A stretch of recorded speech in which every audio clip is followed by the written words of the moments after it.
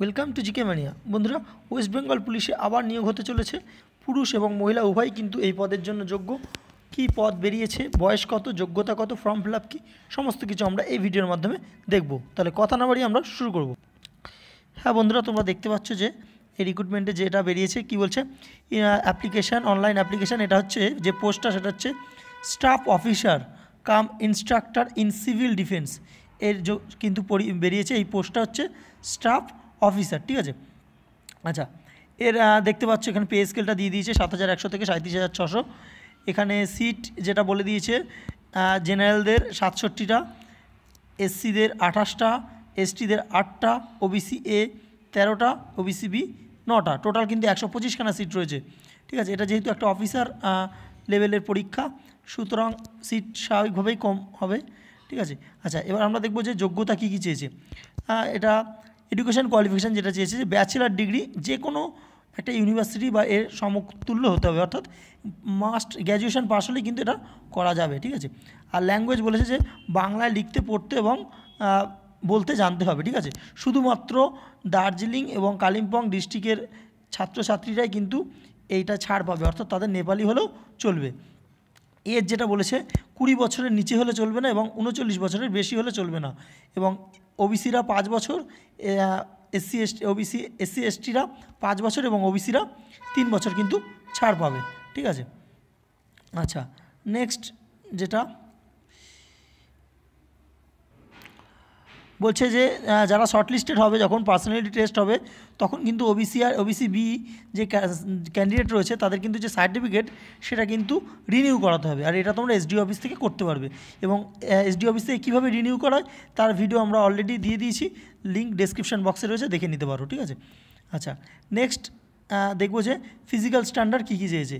আচ্ছা পুরুষদের জন্য চেয়েছে এগুলো কিন্তু দেখো, গোর্খা, রাজবংশ এবং গাড়োয়ালি এবং সিডিউল ট্রাইব, এরা বাদ দিয়ে এরা বাদ দিয়ে সমস্ত পুরুষদের হাইট হতে হবে একশো সাতষট্টি সেমি এবং চেস্ট যেটা বলছে আটাত্তর সেমি এবং এক্সপানশান অর্থাৎ ফুলিয়ে পাঁচ সেমি হতে হবে, ঠিক আছে?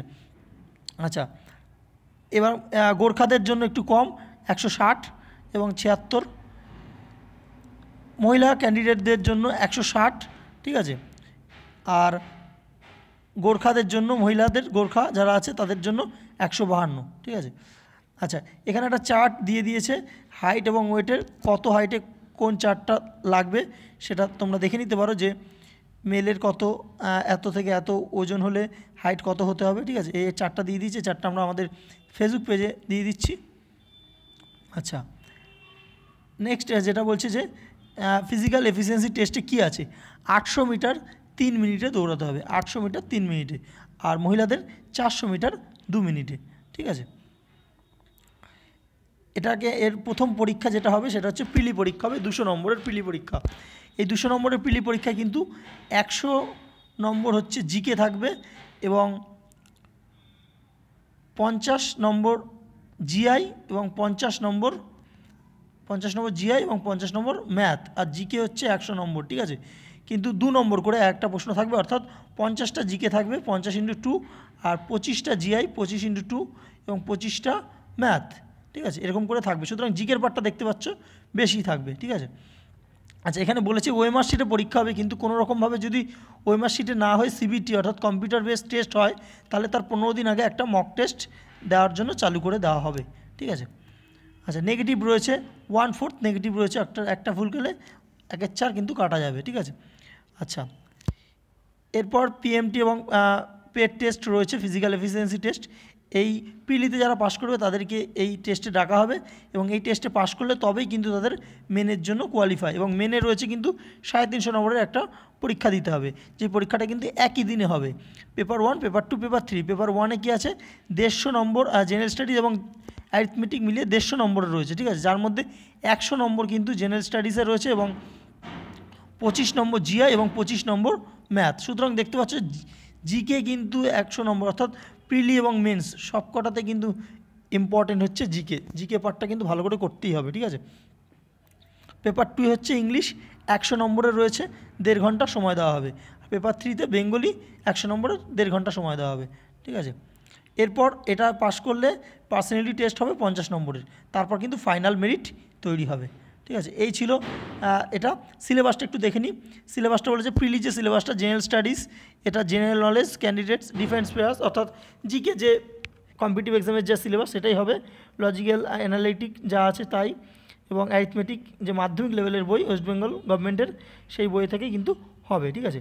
Paper two paper three paper টুতে ইংলিশ রয়েছে। যেমন ঠিক ডাব্লিউবিসিএস বা অন্যান্য পরীক্ষা যে মেন্সে থাকে, একটা লেটার রাইটিং একটা ট্রান্সলেশন থাকবে, ঠিক আছে?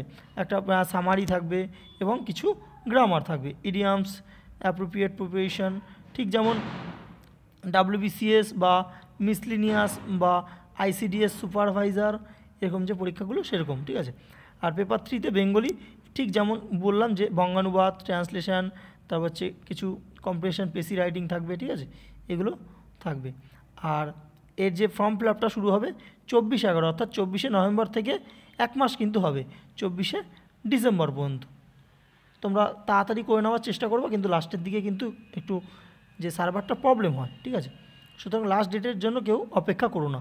আচ্ছা এবার দেখব যে কি বলছে যে আড়াইশো টাকা কিন্তু ক্যান্ডিডেটের লাগবে জেনারেল যে ক্যান্ডিডেট আচ্ছা সিরিয়াল কাস্ট শুধুমাত্র ওয়েস্ট বেঙ্গলের সিরিয়াল কাস্টে কিন্তু ছাড় পাবে, ঠিক আছে?